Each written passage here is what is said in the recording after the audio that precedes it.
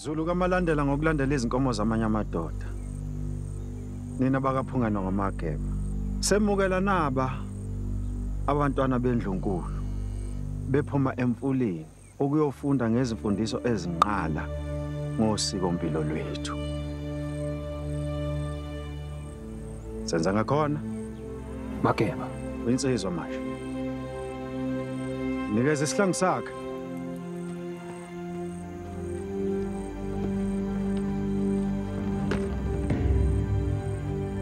Soshumpuna inkunzi ke manje. Soyibamba seyiginqe phansi.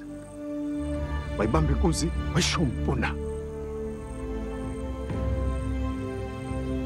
Su!